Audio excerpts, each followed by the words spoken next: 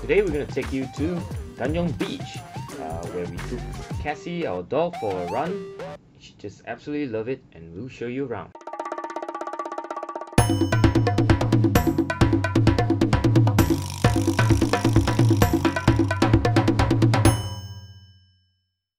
Cassie, our dog, has been cooped up No at home You can find out. uh, quite a bit, and she's absolutely happy to be out there Yeah. at Tanjong Beach.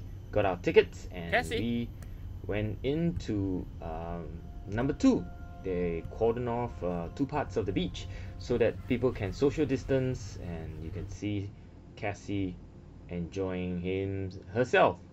It's a dog life. Um, she just absolutely love it. She loves the sand. What can I say? We do have to leash Cassie uh, whenever she's not in the water. Uh, she kind of refused to get into the water, and uh, we, you know, sort of have to uh, uh, entice her with some treats and then uh, leashed her as requested by the park rangers. So we're out here at Tanjong Beach in Sentosa Island and there's plenty of dogs here and uh, probably dog school bringing the dogs to swim and things like that.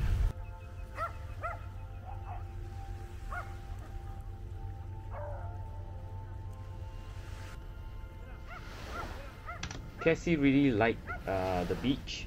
She was just chilling at the moment, um, and uh, well, we're really getting very good sun uh, today because uh, Singapore has been experiencing protracted monsoon. It's been raining heavily, like really pouring, uh, and so it's been really good to uh, get a bit of sun, get a bit of uh, day out, and enjoy the beach a little bit on the weekend before the rain comes back again, which we expect it would. Lots of people are out playing volleyball. It's pretty good to see uh, people are out and about enjoying themselves on the beach. It's always good. I mean, Tanjong Beach is one of those uh, places that uh, are quite popular with the locals and um, or even tourists. But uh, locals would take their dog here and give it give them a run, take them into the water and have a swim. Uh, so you know, once we're done with that, we went to Tanjong Beach Club, which is just right next to it.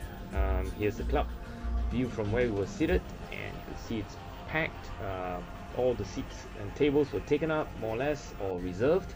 Uh, we couldn't get one of those umbrella umbrella seats, and so we ended up sitting on the bench uh, nearer to the counter.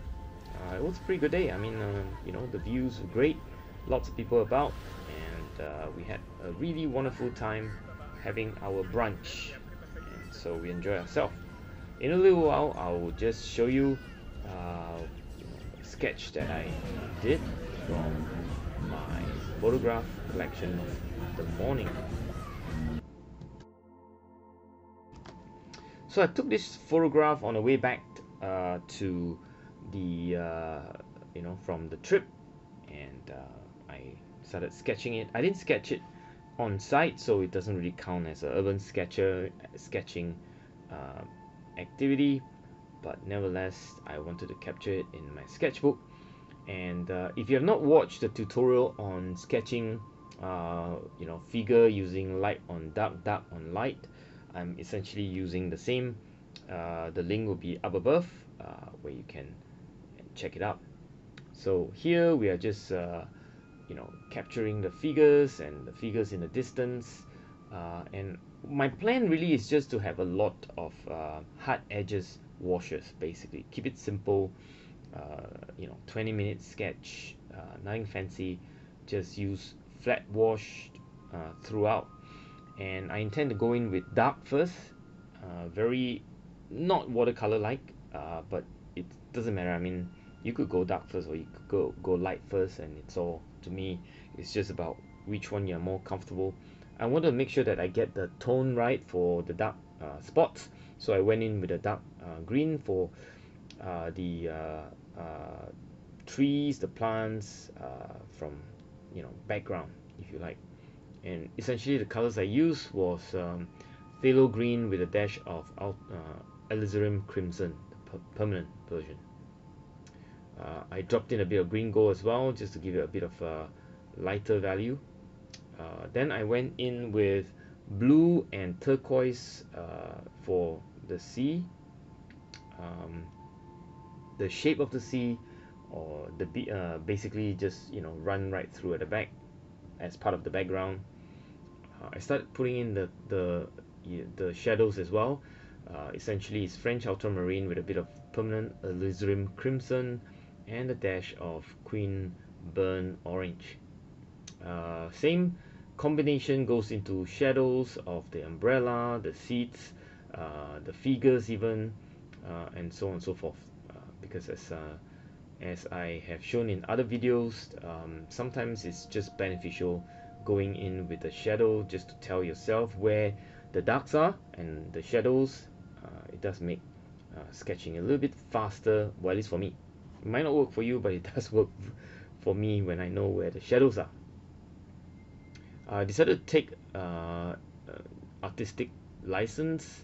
Instead of a green umbrella I went in with a orangey sort of uh, umbrella just for contrast. There's blue in front uh, and so you know blue and orange it's a much better uh, eye-catching contrast color than say green and blue uh, I put in a bit of uh, lemon yellow with a bit of uh, Naples yellow into the beach the and you know at some point I dabbed in a bit of queen gold and queen burnt orange as well just to give it a bit of a warm tone. I paint over the shadows of some of the parts uh, just to blend and unify the color.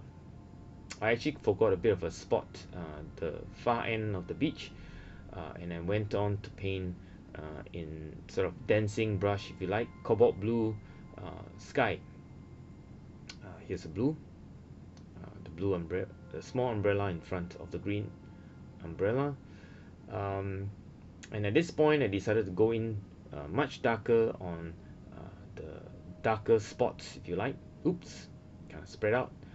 Um, I have to uh, kind of clean that up with a tissue dry it up um, and uh, make sure I get the dark values right.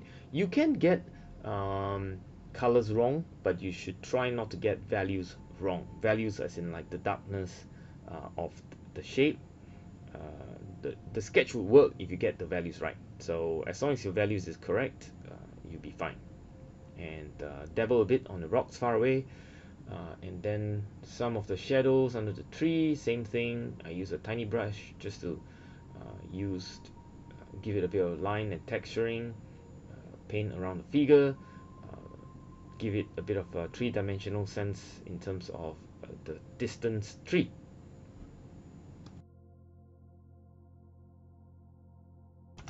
I continue to uh, dabble on with my darks and uh, that gives a bit more three-dimensional sense of uh, the sketch itself. I don't intend to give it too much detail or too much form uh, but uh, really just to give uh, a very clear or a very quick rendition of the scene from the photograph. Now that I remember to put in a bit of the distant sand uh, and a bit of a orangey signboard. Don't want too much um, attention on it so I kept it really light and now I'm ready to put some lines some details uh, and some skin tone colors. The skin tone colors consist of uh, um, Naples yellow with uh, dashed of queen rose just to warm it up. I even paint some of the same colors in the shadowed part of the figures.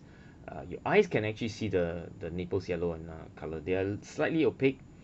Uh, at this point I continue to darken the shadows and shapes to make them pop.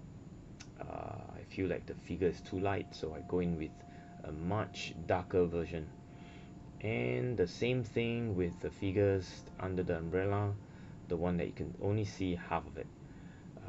Deep depth more dots dark just to make it pop uh, make it three-dimensional. Don't have to be accurate just give it a sense. Um, and now I just need to make sure that the, the figures on the right doesn't look like it's chopped uh, in half. Uh, so maybe I have to do something to kind of clean it up a little bit. A few lines just to give indications of the umbrella. Uh, here I go with a bit of uh, mid-tone on the uh, figures on the right just to kind of give it a, a, interesting shape if you like. A bit more on the shadow. I think I'm done. Uh, don't really want to do too much with it. So I hope you've enjoyed uh, my uh, vlog of uh, Tanjong Beach in Sentosa. It's been a blast going out with Cassie our dog uh, to give it a run. As I said it's been raining. Today it's been sunny. So it was good to be out. I hope you stay safe wherever you are and thanks for tuning in